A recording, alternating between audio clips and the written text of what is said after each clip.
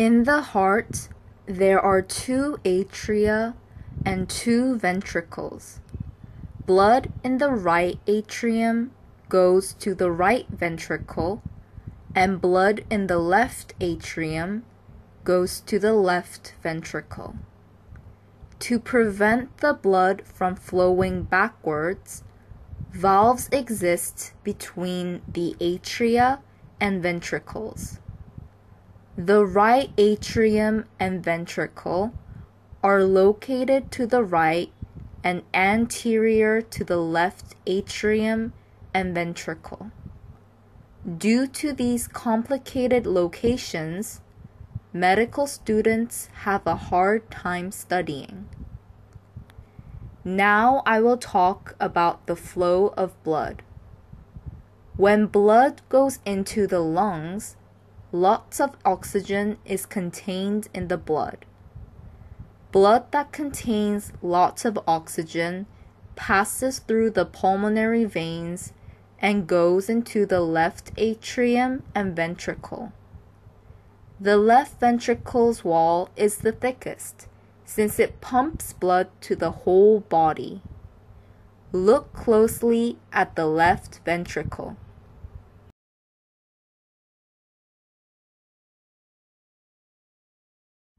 The artery coming out of the left ventricle is called the ascending aorta.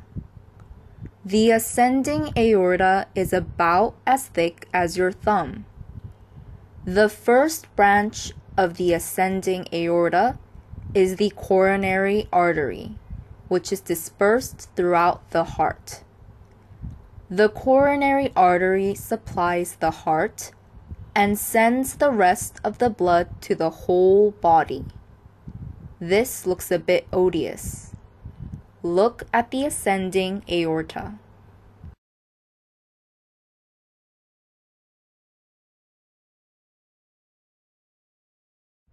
When the ascending aorta goes upwards, it becomes the aortic arch.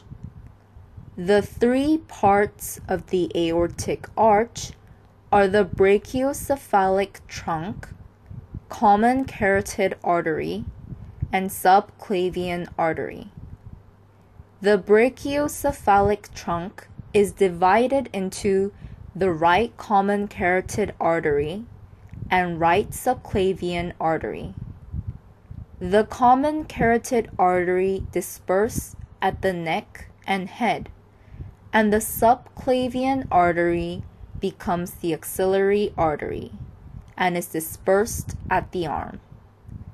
To summarize, the three parts of the aortic arch are dispersed at the neck, head, and arms.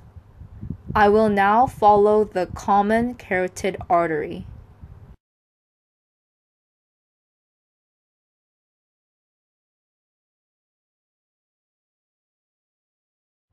The common carotid artery is at the lateral side and is in the inside of the sternocleidomastoid muscle.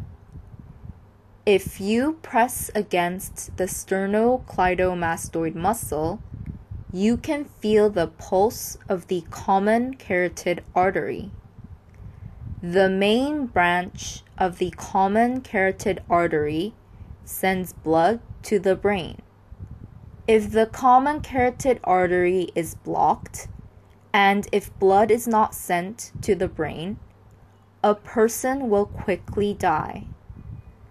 The subclavian artery, which goes towards the arm, is under the clavicle, just like its name suggests. I will start from the aortic arch again.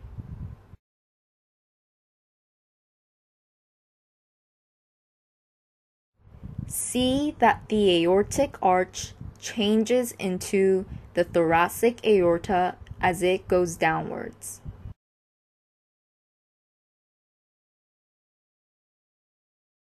The aortic arch has now become the thoracic aorta.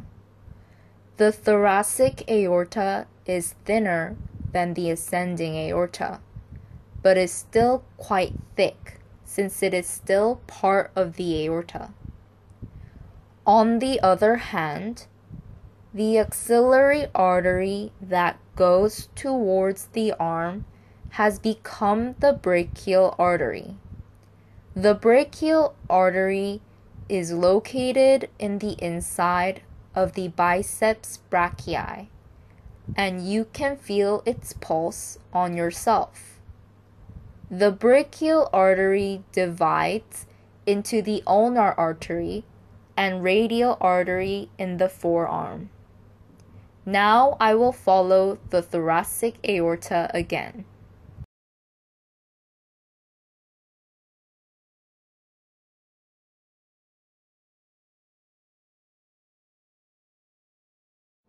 The thoracic aorta has changed into the abdominal aorta. In the human body, there are four parts of the aorta, including the ascending aorta, aortic arch, thoracic aorta, and abdominal aorta. The abdominal aorta sends blood to the liver, stomach, pancreas, spleen, and kidney in the abdominal section. Also, the abdominal aorta divides once it goes down and sends blood to the pelvis, groin, and legs.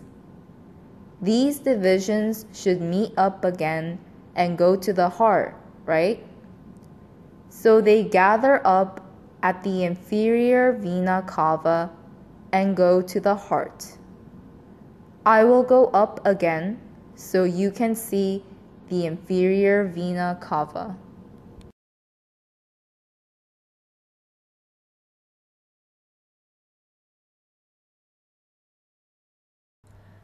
For reference, blood sent to the neck, head, and arm gather up at the superior vena cava and goes down, and the superior vena cava goes into the right atrium as well.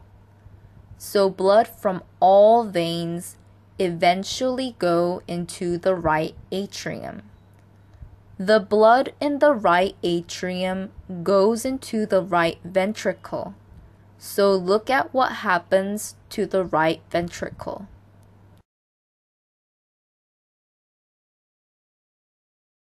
You can see that the pulmonary trunk, which came from the right ventricle, is dividing and going into both lungs.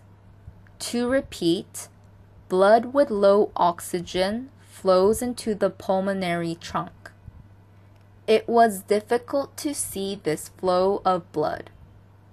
On this sectioned image, you can also see the cutaneous veins of the arms. Cutaneous veins are the veins in the subcutaneous tissue. Arteries have high blood pressure, so it should not be damaged. This is why they are not in the subcutaneous tissue.